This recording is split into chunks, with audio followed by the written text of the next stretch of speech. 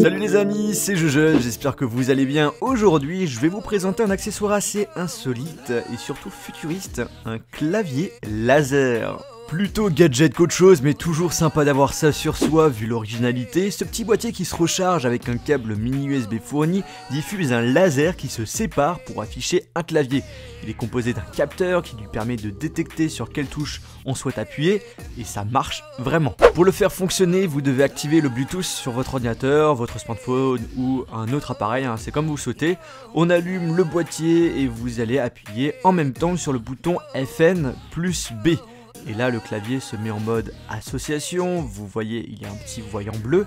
Et là, vous devez tout simplement connecter le boîtier avec votre appareil et le tour est joué.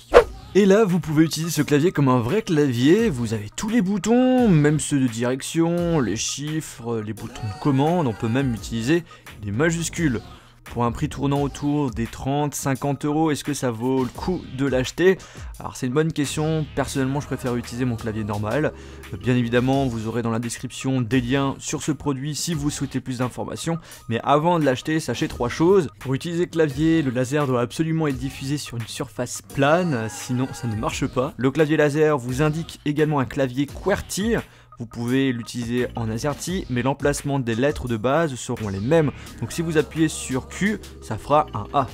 Ensuite, pour bien voir le clavier, euh, le mieux c'est d'être dans un lieu sombre. En plein jour, vous aurez du mal à voir les touches. Et eh bien les amis, j'espère que cette vidéo sur cet accessoire assez original vous a plu. Si c'est le cas, n'oubliez pas de mettre un pouce bleu et de commenter euh, la vidéo si vous souhaitez que je fasse d'autres vidéos sur des accessoires insolites. Sur ce, les amis, on se retrouve dans une prochaine vidéo. Salut